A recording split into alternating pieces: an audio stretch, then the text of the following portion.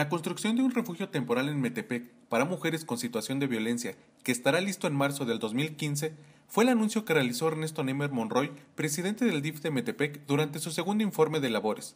Es un refugio para madres desde cero hasta cinco días de estancia, en el obviamente contará con asilo, contará con eh, alimentación, servicio de nutrición, eh, o sea, que, puedan medir la nutrición de las personas que estén ahí, atención médica eh, y psicológica para la mujer y por supuesto para sus hijos.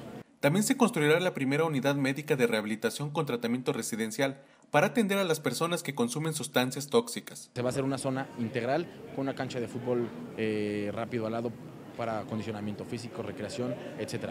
Quien esté involucrado en una adicción crónica severa, no, atención, no, no que requiera atención primaria, sino que ya esté después, en el siguiente paso, podrá entrar a esta, bueno, y que esté diagnosticado, claro, podrá estar, entrar a esta unidad médica residencial.